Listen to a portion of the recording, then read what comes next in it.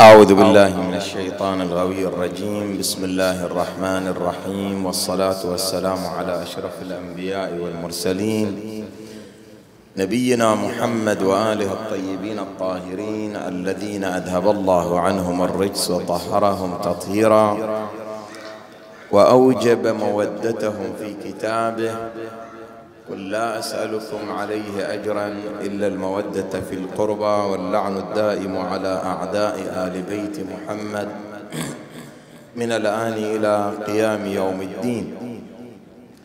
السلام عليكم جميعا ورحمة الله وبركاته. نبارك لكم أيها الأحبة عيد الله الأكبر. ونسأل الله عز وجل أن يثبتنا على ولاية أمير المؤمنين علي بن أبي طالب ويجعلنا من المتمسكين بهذه الولاية الغراء. الحمد لله على إكمال الدين وإتمام النعمة ورضا الرب بولاية أمير المؤمنين عليه السلام. فيما هو معنون لهذه الوقفة البسيطة مشاركة خجولة أمام هذا الجمع الطيب في احتفال بعيد الله الأكبر عيد الغدير. عيد تنصيب أمير المؤمنين سلام الله عليه وهو المنصب من قبل ذلك بكثير من الآيات والروايات. وإنما هذا اليوم تتويج إلى آيات وروايات ومواقف كثيرة من حياة النبي صلى الله عليه وآله دلت على أن أمير المؤمنين علي بن أبي طالب عليه السلام هو الوصي والخليفة بعد النبي صلى الله عليه وآله. أيها الأحبة معرفة الله كما قدم الأخ الكريم هي أسمى معرفة وهي الهدف من هذه الحياة. أن الإنسان حينما يتعرف على الله عز وجل ويمضي في هذا السبيل إنما يمضي في سبيل مرضاة الله عز وجل وهي أسمى معرفة. فعنونا هذه الكلمة بعنوان معرفة علي ابن أبي طالب. ما العلاقة بين معرفة الله ومعرفة علي بن أبي طالب عليه السلام؟ بل لماذا نحن نتشدد ولنا الحق في هذا التشدد أن نكون متمسكين بأشد التمسك بولاية أمير المؤمنين علي بن أبي طالب؟ حتى أن الآخرين دائما يتهموننا بالتشدد في محبة علي والمغالاة في محبة علي. لكنهم لو عرفوا علي بن أبي طالب لقالوا إننا مقصرين. هذا التشدد هو في الحقيقة تقصير في حق علي. كل من لم يعرف علي بن أبي طالب سيجد نفسه في باب ودائرة التقصير. دعونا ننطلق من هذه الرواية الواردة في الكافي عن الإمام الصادق سلام الله عليه. وكلكم حافظين هذا الذكر الوارد في الكافي عن الإمام الصادق عليه السلام. اللهم عرفني نفسك فإنك إن لم تعرفني نفسك لم أعرف رسولك. اللهم عرفني رسولك فإنك إن لم تعرفني رسولك لم أعرف حجتك.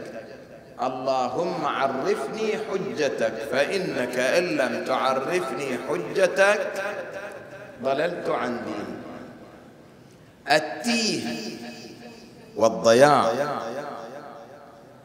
والشك والتردد في البعد عن معرفة الحجة أي الإمام المنصوب من قبل الله عز وجل. نلاحظ في كلمات هذه الرواية تسلسل تسلسل شرطي. يعني معرفة الله لا تكون إلا بمعرفة النبي. ليش؟ مو أنت لما نقول إحنا ماكو أنبياء. أكان أحد يعرف الله عز وجل؟ لولا هداية الأنبياء وإرشاد الأنبياء وتعاليم الأنبياء. وكذلك معرفة النبي لا تكون إلا بمعرفة الإمام الحجة لو لم يكن هناك علي بن أبي طالب والأئمة الأحد عشر من صلبه. أكان سبيل رسول الله يستمر في الأمة؟ أكانت تعاليم النبي إرشادات النبي عقائد التي جاء بها النبي صلى الله عليه وآله. أكانت تسري وتستمر في الأمة. إذا معرفة الإمام تقود إلى معرفة النبي وتقود إلى معرفة الله عز وجل. زين نريد إحنا أدلة لما نتكلم بهالشكل يعني حب قول بغض قول هاي أمور عقائدية أسست عليها عقيدة. لما نتكلم عن شخصية ما يكون إحنا نكبرها وهي لا تستحق الإكبار. لا. أكو عندنا شخصيات قامت بنفسها أعطت للتاريخ عظمتها بنفسها من مواقفها من خلال الآيات والروايات. فإحنا لما ندعي ونقول معرفة الإمام تقود إلى معرفة الله عز وجل نقرأ هذا الموقف. دخل رجل على الإمام الحسين. سلام الله عليه. اسمع السؤال واسمع الجواب. هذا الرجل يسأل الإمام الحسين سلام الله عليه. يقول له سيدي ومولاي كيف السبيل إلى معرفة الله؟ جاي يسأل شلون أعرف الله عز وجل؟ اسمع جواب الإمام الحسين ودقق فيه وركز. قال معرفة كل أهل زمان بإمامهم. تقول أنا جاي أسأل عن الله عز وجل؟ إمام الحسين يقول تعال أعرف الإمام شو الرابط إمام يقول له تريد تعرف الله عز وجل؟ اعرف إمام. ليش؟ مو لأن الإمام هو الدليل الأعظم إلى الله عز وجل. أدلة على الله الهداة. أنا لما أريد أتعلم الطب أروح لمن؟ أروح أتعلم عن طبيب. أريد أتعلم الفقه أروح لمن؟ للفقيه. أريد أتعلم الهندسة أروح لمن؟ للمهندس. وفاقد الشيء لا يعطي أنا يصير أتعلم شيء. وأروح إلى ألف أو باء أو جيم وهو لا يمتلك شيئا مما يراد أن أتعلم منه. أنا أريد أتعلم فقه أروح لواحد ما يعرف الفقه. لن أتعلم شيئا. إذا شو أريد أقول؟ أنا أدا أريد أعرف الله عز وجل لابد أن أتعلم هذه المعرفة من من يعرف الله. أكو واحد أكثر من الإمام يعرف الله عز وجل؟ وهم الذين اسمع الرواية. هذه الرواية أنت بتكملها. عني لأن أنت ابن المنبر حافظ الرواية. حتى تعرف أنه إحنا لما نقول تمسكنا بعلي بن أبي طالب يقود إلى معرفة الله شوف عاد المعرفة الحق السليمة الصحيحة. أي دخل تحت خطين. أكو واحد يدعي يقول لك أنا أعرف الله لكن شلون يعرف الله؟ مجسم يشبه يلحد يشرك يقول الله راح الله جاء الله له كذا وكذا. لا. مو معرفة الله عز وجل. معرفة الله المعرفة الحق الصحيحة التي لا يمكن أحد أن يصل إليها إلا من خلال من يعرف الله حق معرفته. زين الآن إحنا ندعي أن تمسكنا بعلي بن أبي طالب يؤدي إلى معرفة الله المعرفة الحقة. أكو دليل على أن علي بن أبي طالب لديه هذه المعرفة. نقرأ الرواية وراح يجاوب عني. قال النبي صلى الله عليه وآله يا علي لا يعرف الله إلا أنا وأنت ولا يعرفني إلا الله وأنت ولا يعرفك إلا الله وأنا. شوف المعرفة معرفة الله محصورة في النبي وعلي. سلام الله عليه لأنهما بلغا أعلى مراتب المعرفة بالله عز وجل. فأنا لما أريد أطمئن وأقابل الله عز وجل يوم القيامة بعقيدة صحيحة سليمة بعد أروح إلى ألف وباء وجيم وزيد وعمر وفلان وعلام غير أنه أروح إلى من يعرف الله حق معرفته حتى تكون عقيدته عقيدة سليمة صحيحة قائمة على أساس صحيح. إذا لما أنه الإمام الحسين سلام الله عليه يقول معرفة أهل كل زمان بإمامهم لأن معرفة الإمام تقود إلى معرفة الله المعرفة الحقة الصحيحة السليمة. أكو واحد يمكن يطلع يقول أنا أقدر أعرف الله عز وجل من غير الإمام. هاي شلون تعرف الله من غير الإمام؟ هاي القرآن موجود.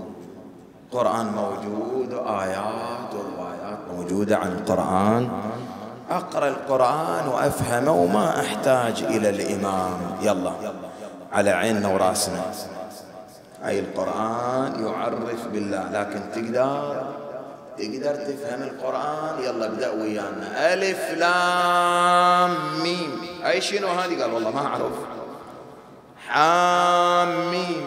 أي شنو المعنى؟ قال والله ما أدري. لها علاقة بالله؟ والله ما أدري. هي أحرف طاسين ميم. أجل شنو تعرف؟ أنت بتقول تقدر تعرف الله عز وجل من خلال القرآن يلا هاي القرآن وهي كلمات القرآن. أنت إذا هو أعجز من أن تفهم معاني القرآن الكريم شلون تقدر تعرف الله من غير الرجوع إلى من خوطبوا به؟ ولا يعرف هذا القرآن إلا من نزل في بيوتهم. تراجمة الوحي محمد وآل محمد.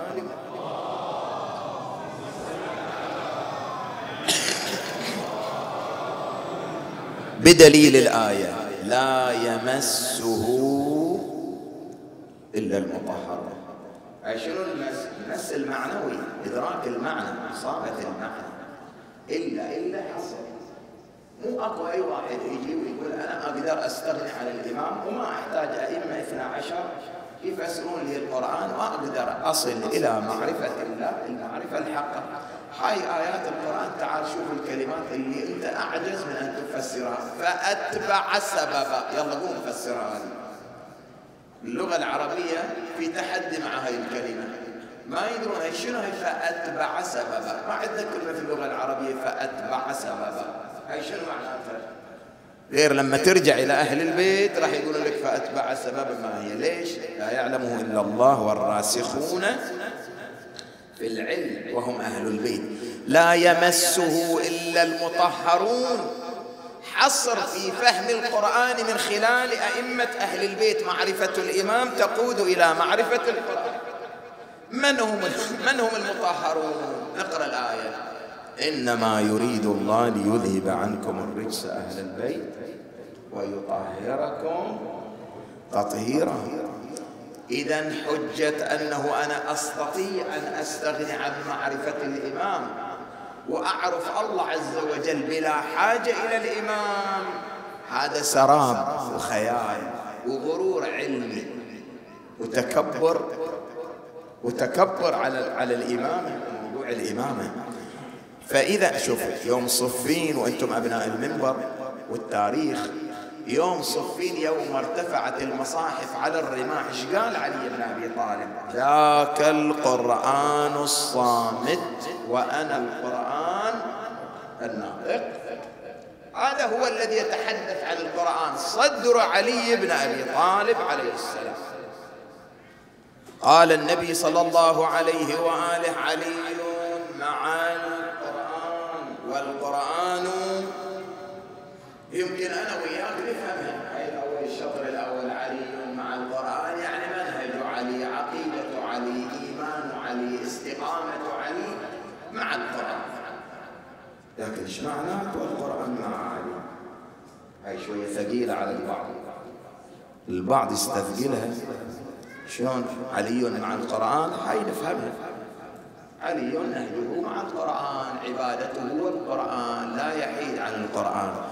لكن القرآن كتاب الله مع علي. هاي شوية البعض يستثقلها. إيش معنى القرآن مع علي؟ مع علي؟ هاي تفهمها بشكل بسيط القرآن علي يعرف بالقرآن والقرآن يعرف بعلي. علي يزكي القرآن والقرآن يزكي علي. علي يعلم ها؟ يعلمنا بمعاني القرآن والقرآن يوضح شخصية علي. كل واحد يبين الآخر. ميزان ميزان ارتفاع كفتين من جهتين. علي مع القرآن والقرآن مع علي أي القرآن يبين مقام علي شخصية علي يزكي عليا يبين عظمة علي بن أبي طالب عليه السلام. إذا لا يمكن أن تنفصل معرفة الإمام عن معرفة الله بل أنت محتاج حاجة ضرورية أن تعرف الله المعرفة الصحيحة الحق ولذلك يسمى علي بن أبي طالب مولى الموحدين روح اقرأ متعصبين ولا عندنا تعصب أبدا. روح اقرأ الألف وباء وجيم ودال وزيد وعام وفلان. شوف كيف يتكلمون عن الله عز وجل. وروح شوف علي بن أبي طالب في نهج البلاغة كيف يتحدث عن الذات المقدسة. شتان بين كلمات علي بن أبي طالب. اللي يعرفك بالله المعرفة الصحيحة السليمة. ولذلك إحنا لما نتشدد يتهمون بالتشدد في علي. اكو مصير وقيامة حساب عقاب. إحنا نريد لما نحشر نحشر بعقيدة سليمة صحيحة عن الله عز وجل. خب من هو يضمن لي أنه هذه العقيدة صحيحة غير أمير المؤمنين علي بن أبي طالب الذي تنزل الكتاب فيه وتكلم عنه النبي صلى الله عليه وآله ومدى علمه. إذ لا غنى لا غنى عن معرفة الإمام لمعرفة الله عز وجل. ولذلك راح تفهم فلسفة أن النبي يحث على تعرف شخصية علي بن أبي طالب. ليش النبي عنده كثير من الروايات يقول اعرفوا عليا ذكر علي عبادة زيدوا مجالسكم بذكر علي بن أبي طالب. ليش؟ وأن الذاكر لفضل علي بن أبي طالب له ما له من الأجر والثواب. ليش؟ لأن الحث على هذا على شخصية علي بن أبي طالب علي بن أبي طالب المرآة العظيمة العاكسة للصفات الإلهية وتجليات أسماء الله الحسنى. ما تقدر تعرف الله عز وجل المعرفة الحق إيمان نقرأ هذه الرواية حتى تعرف ليش هذا الحث على معرفة مقام علي بن أبي طالب عليه السلام. ولذلك الآخرين ما يقدرون يفهمون أنتم واجد تغالون في علي بن أبي طالب. كل شو يقولون يا علي يا علي يا علي. هو أنت تعرف علي بن أبي طالب حتى تعذرني؟ تعال اعرف علي بن أبي طالب. مو أنا اللي أروي الرواية. أحمد بن حنبل في مسنده يروي الرواية. اسمع هاي الرواية وتكفي هالرواية. يقول عن النبي صلى الله عليه وآله يقول يا علي لولا أني أخاف أن تقول فيك جماعة من أمتي كما قالت النصارى في ابن مريم لقلت اليوم فيك مقالا ما مررت بملأ من المسلمين إلا اخذوا التراب من تحت قدميك للبركة. صلى الله عليه وسلم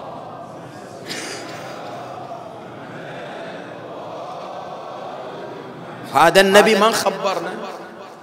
أخفاها الكلمة. يقول له قلت اليوم فيك مقالة. شنو هي المقالة يا رسول الله؟ قال لا أنا أخاف على الأمة يألهونك يجعلونك إله كما أله المسيح عيسى بن مريم. يوم شافوا يحيي الموتى يبي الأكبر والأبرص قالوا أنت إله رب.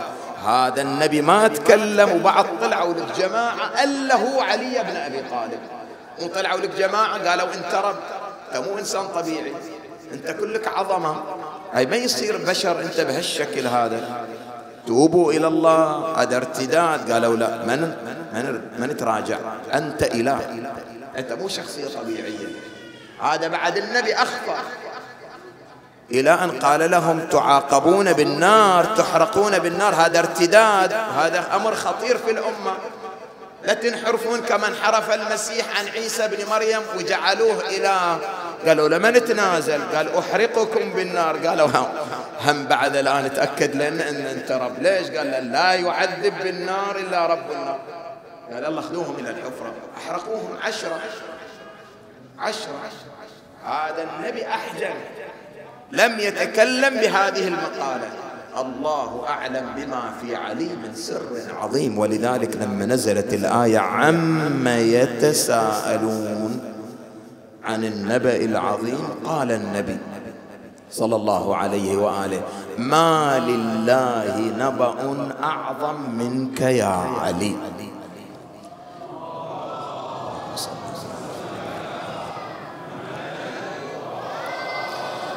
ولذلك إحنا نقول للآخر هاي كتبكم تعالوا اقرأوها عن علي بن أبي طالب حتى تعذرون هذا التشدد والمغالاة في حب علي. أقولها تقصير. مغالاتنا في حب علي بن أبي طالب تقصير. لم ندرك شيئا عن شخصية علي بن أبي طالب. اسمع هالرواية وانت جالس بهالماتم تحتفل بعيد الله الأكبر. حتى تشوف عظمة علي بن أبي طالب وبركة ذكره عن النبي صلى الله عليه وآله عن أم سلمة زوج النبي رضوان الله تعالى عليها تقول قال النبي صلى الله عليه وآله ما اجتمع قوم يذكرون فضل علي بن أبي طالب عليه السلام إلا هبطت عليهم الملائكة وحفت بهم فإذا هم تفرقوا صعدت الملائكة إلى السماء لقيتهم ملائكة السماء. قالت لهم إنا نشم منكم رائحة عطرة. لم نشمها من قبل. قالوا كنا عند قوم يذكرون فضل علي بن أبي طالب. قالت ملائكة السماء ننزل إليهم معكم لنتبرك بهم. قالت الملائكة الملائكة الصاعدة قد تفرقوا ماذا قالت ملائكة السماء؟ ننزل إلى مكانهم لنتبرك به بذكر سلام الله.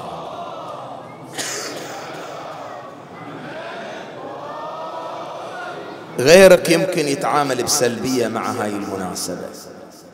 غيرك يمكن قاعد في البيت ما تهمه مناسبة عيد الله الأكبر.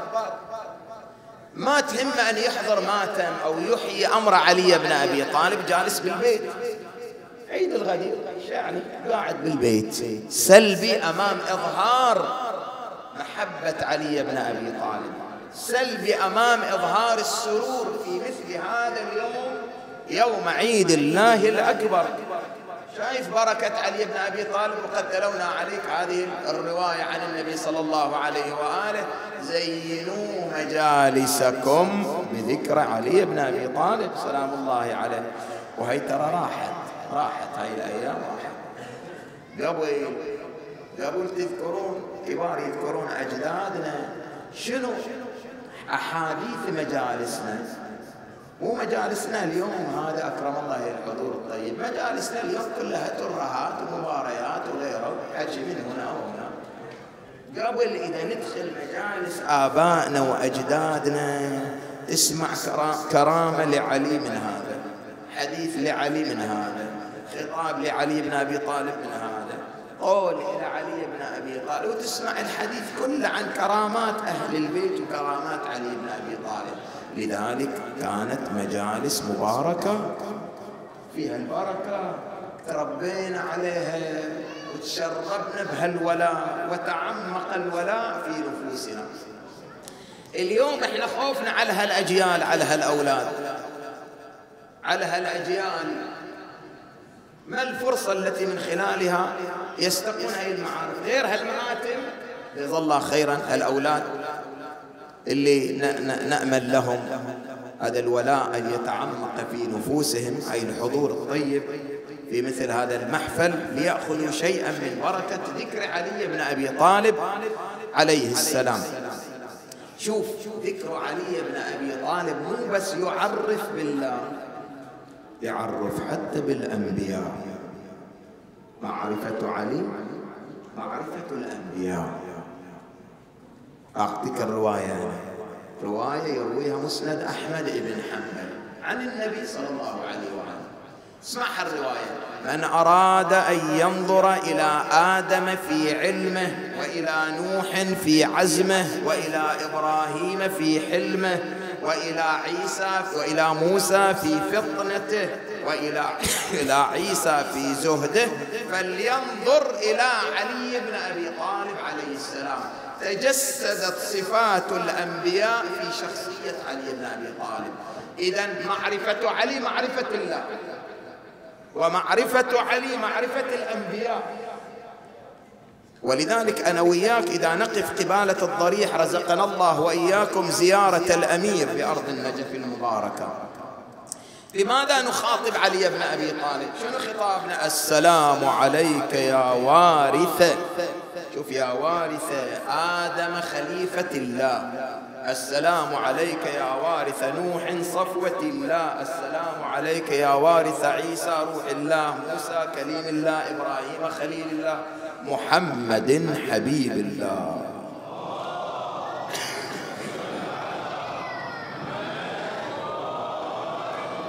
إذا معرفة شوف وراثة صفات الأنبياء مناهج الأنبياء خلق الأنبياء تجسدت في علي بن أبي طالب عليه السلام. أنت أمام شخصية عظيمة بهالشكل شخصية علي بن أبي طالب. منها أعرف الله أعرف الأنبياء بل أعرف الحق. أختم بهذا المحور الأخير. معرفة الحق. لا تقول أنا ما أدل الحق وما أعرف الحق. أنا أمامي ألف وباء وجيم ودال. وين الحق؟ كل واحد يقول الحق. كل واحد يقول الحق معي. أين الحق؟ أين الحق؟ اليوم أنت قرأت. هذه الرواية رواية الغدير. من كنت مولاه فهذا علي. يلا وياي. اللهم والي وعادي وانصر واخذل وصلنا وصلنا. وأدر الحق معه. حيث ما دار. وين ما راح. علي بن أبي طالب الحق معه. راح يمين يعني الحق وياه. راح شمال يعني الحق وياه. اختلف مع فلان فالحق معه. يدور معه الحق. وين ما صار علي بن أبي طالب الحق معه. هو الذي يمثل الحق. لا يطلع لك واحد يقول والله أنا ما أدري وين الحق. يعني كل واحد يدعي الخلافة كل واحد يدعي الحق معه الحق بين يدور معه حيث ما دار. وقول النبي صلى الله عليه وآله علي مع الحق والحق مع علي. هو هاي الحق هو بنفس الحق. علي بن أبي طالب يمثل الحق. انت تسمع هذا الخطاب تقول الحمد لله. الحمد لله الحمد لله ان جعلني من المتمسكين. بولايه أمير المؤمنين لأنا متمسك بالحق. أعظم نعمة أنعم الله بها علينا في هذه الحياة أن جعلنا من أتباع مدرسة علي بن أبي طالب. والله تصور نفسك خارج هالمدرسة وين الحق تشوف روحك في تيه وفي ضياع؟ لكن أنت في مدرسة علي بن أبي طالب الحق أمامك واضح بين لأنك تعلم أن علي بن أبي طالب مع الحق. أختم بهذه الرواية للتبرك. قال النبي صلى الله عليه وآله هاي الرواية يروونها كل المسلمين؟ يا عمار لو سلك الناس واديا لو كل الناس خلي الدنيا كلها. كلها خلت روحه جهة بس انت بروحك انت انت بروحك. لو سلك الناس واديا وسلك علي بن أبي طالب وادي يمشي بروحه ما حد وياه. يقول له يا عمار لا تقول معقولة هالعالم وهالدنيا كلها على غلط. بس علي بروحه على صح لا تشكر. شو يقول النبي؟ النبي يقول فاسلك الطريق الذي سلكه علي. لأنه لن يخرجك من رداء ولن لن يخرجك من هدى ولن يدخلك إلى رداء هو الحق. لا تقول إحنا روحنا يعني العالم كلها دليل على غلط. بس إحنا القلة في العالم المتمسكين بعلي بس إحنا على حق. يقول النبي صلى الله عليه يقول لا تشكك. لا لا تكرهوا أو طريق الحق لقلة سالك أو لا تخافوا أو لا تتوجسوا من طريق الحق لقلة سالكي لا تقول أنا بروحي أنت مع علي بن أبي طالب وعلي مع الحق والحق مع علي يدور معه حيثما دار. ثبتنا الله وإياكم على ولاية محمد وآل محمد وصلى الله على محمد وآله الطاهرين.